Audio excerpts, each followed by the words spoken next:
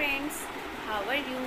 I hope you all are fine and safe at your home. तो मेरा आज का ये वीडियो बच्चों के लिए ही है।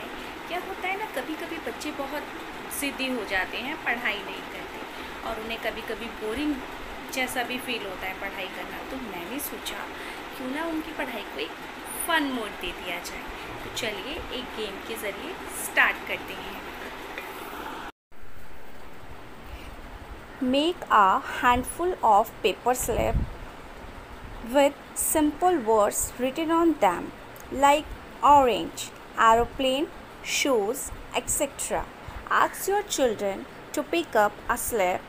If they can't read, whisper the word into their ears.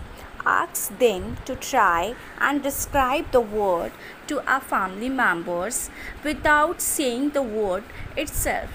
For example, orange. You can give them hints like it is a fruit, it is a tangy, it is round in shape. Then how let you how let your kids do the guessing while you pick up a slip and give the description. Thank you. Have fun. Bye bye.